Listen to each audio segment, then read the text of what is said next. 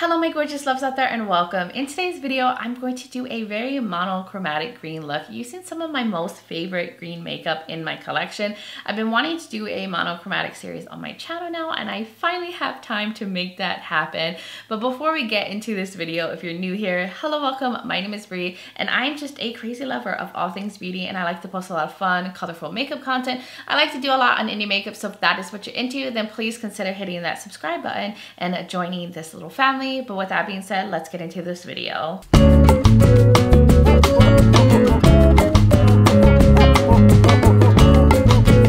All right, welcome my babes. I am so excited that I'm finally getting a chance to sit down and film a video like this. I have been thinking about doing a monochromatic series forever on my channel where I just focus on a color and then that's what the makeup look is all around. Whether it's all green, all red, all yellow, all orange, and then featuring those products in my collection that I really love that are in that color category. So I do plan to have more videos of this come up in the future, like focusing on different colors. But of course I started off with green because I'm a green lover. That is my favorite color to wear on my eyes. And I have a lot of green eyeshadow palettes in my collection.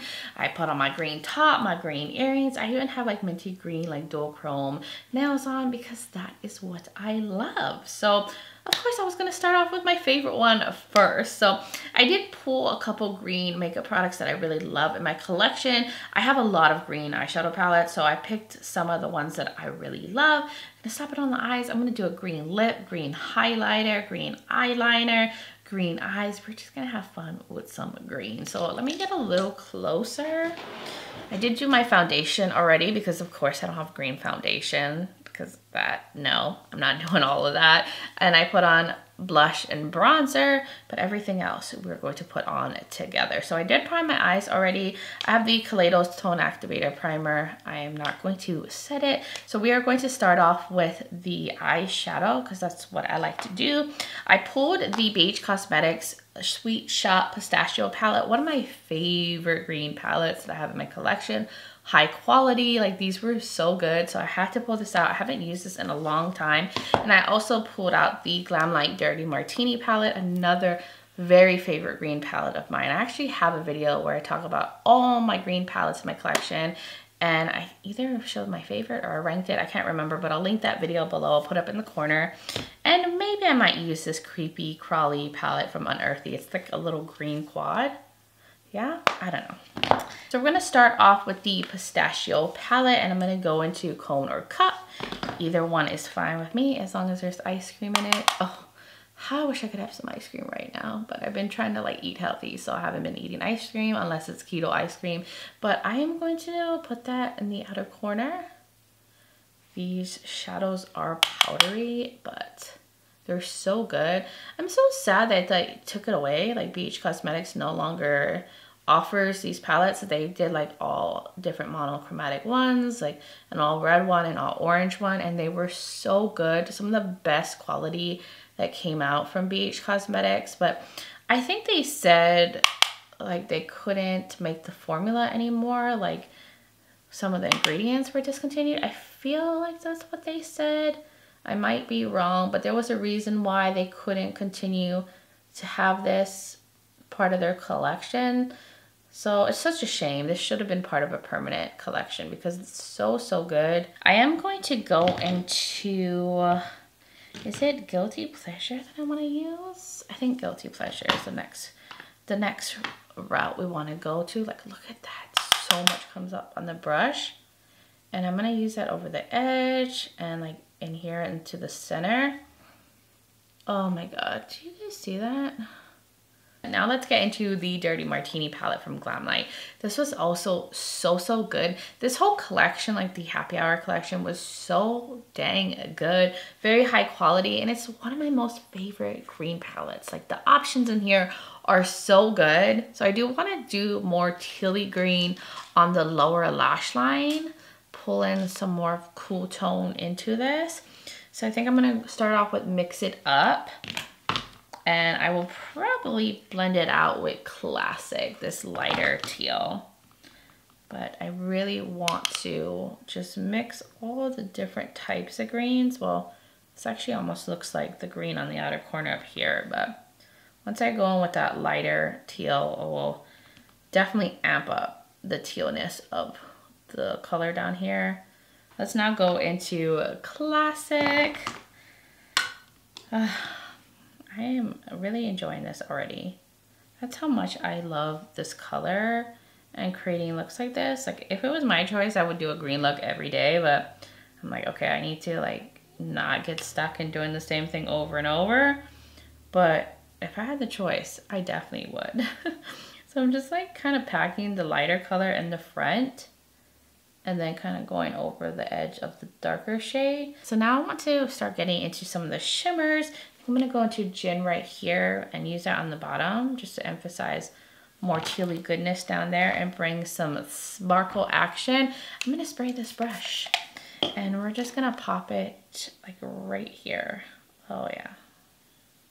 Oh yeah. I love having shimmer on the lower lash line. It just, to me, it's a necessary step, even though I know a lot of people only use mattes on the lower lash line, but come on, look how pretty that is. So just like keeping it mainly in like the front half. So I think that's good. Let's start doing some, well, no, you know what? Let me go into the Creepy Crawly palette now from Unearthly. I want to use this neon yellow green and I want to pop that in the front portion of the look, like really pack that on because I really want a, lot of yellowy goodness in the front. Oh, this is so pretty in the pigmentation. I mean, it leans very yellow, but it is still a true like yellowy neon green shade. So I had to, I had to use this. Look, look how yellowy warm a green can get. That yellow just did something for the look. I do want to go back into Dirty Martini, and I think I want to use a little bit of this On The Rock shade in the inner portion too, but just like more on the bottom part. I just felt like I wanted it to be a little bit lighter in the inner portion on the bottom. So now I want to get into some shimmers on the lid. Now I did pull all of my green shadows from Clionadh that are in the stained glass collection. Like I have all these different greens with different shifts. I thought we would use some of them. So I just grabbed all of them because I wasn't sure what kind of look I was going to do. But I'm thinking maybe this one right here. This one has like a blue shift to it. I feel like that would be beautiful on like the outer edge. This is called trefoil. But look how stunning that is. All of the shades from Clionadh are amazing. And I'm so happy they have so many beautiful greens. I think this is in the Jewel collection. I can't remember which uh, category it is in the stained glass collection, but this one is called trefoil and it's gorgeous. I'm gonna spray it, but honestly, it doesn't even need to be sprayed because it's so smooth, but I'm gonna concentrate that uh, right here. Oh, do I wanna keep it more center? You know what, I'm gonna keep it more center actually, and maybe do a darker shimmer closer to the matte. I don't know why I thought this was going to be a little bit more darker, but I feel like it's meshing better with the green shade that's in the center. Now I want to go into one more Clionadh shade because I want something a little darker on the outer edge. So I'm going to use Oculus. This does have like a very strong like purple blue shift to it, but I feel like that's going to look really good over more on the edge because I just wanted something a little bit darker. This does have a black base. See, yeah, that's perfect going over like that darker matte. And you know, it's gonna throw in a little bit of purple and blue into the mix to add a little bit of interest. And like when you turn it kind of adds like a little shadow, like depth from the, you know, shift. Oh, these are just so good and smooth. You honestly do not need to wet your brush. I just like doing that as an added step. But yeah, I just needed a little bit more darkness. Now I want to get into the Glamlite Martini palette and use Vacatini. This is a like warm olive shade. I'm to use that in the inner portion. I'm just to spray the brush. And I think that's to look good with the more yellowy tone that's in the front. Oh yeah. See how we just have like a mix of cool tone and warmth? I think like using different undertones can mix really well together because you wouldn't think like warm tones and cool tones should all go into one look, but you can make it totally work. Now let's do the final touches. I want to go into the pistachio palette from BH and go into Sweet Life as the inner corner pop. I think that's gonna mesh with the more like warm tone green on the front portion. And just keeping it right there. I'm not gonna really take it far up. I don't wanna take it over that beautiful yellow neon, which I feel like I need to bring a little bit more of that back.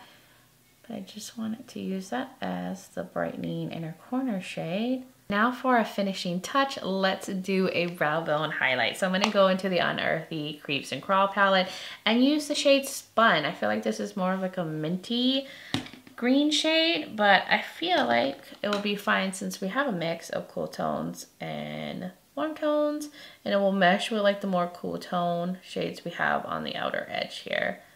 See how it just definitely more on the minty end, like a minty icy shade, which is perfect for highlighting the brow bone. So that is it for the shadows and the palettes. Let's get on with the rest of the look. So I'm going to use one of my favorite liners to use in the waterline. This is from LA Girl. This is the Shockwave Metallic Eyeliner in Dragon. I use this a lot when I'm doing like more like tealy colors on the lower lash line. It's so good. It's one of my favorite green liners. And I knew it was just going to mesh with the shade on the lower lash line so well. It's so creamy and it lasts all day. I love these metallic liners from LA Girl and they're so affordable. I know some of their Shockwave eyeliners can dry out, but so far all of mine have lasted. Like they've all been doing the job.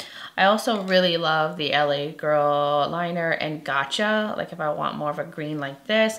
This one is not in the metallic formula, but it's also another favorite green liner of mine. They're so freaking good and so freaking affordable. So now I want to I think do some highlighter on my face before I finish off the look.